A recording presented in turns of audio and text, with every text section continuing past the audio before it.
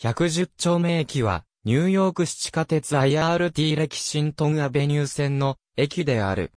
マンハッタン区、スパニッシュハーレムにある、レキシントンアベニューと110丁目の交差点に位置し、4系統が、シニアのみ、6系統が、終日、6系統が、平日に10時45分までの混雑方向に停車する。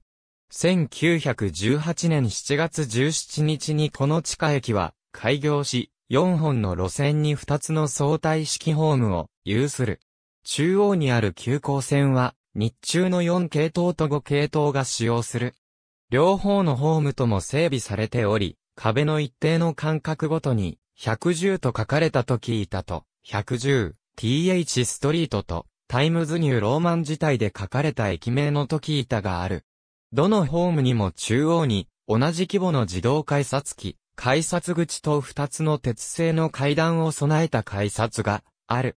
南側のホームにある階段は、それぞれレキシントンアベニューと110丁目の西側の角に、北側のホームにある階段はそれぞれ交差点の東側の角につながっている。改札内に、ホーム間の連絡通路はない。また、両ホームには111丁目への出口があったが、安全上の理由から1990年代半ばに閉鎖された。現在ではこの出口は鉄製のドアで覆われている。この駅のアート作品は1996年、マニュエル・ベガ作の、ウンサバとイーエヌ・ラシエント・ディエスというモザイクである。ありがとうございます。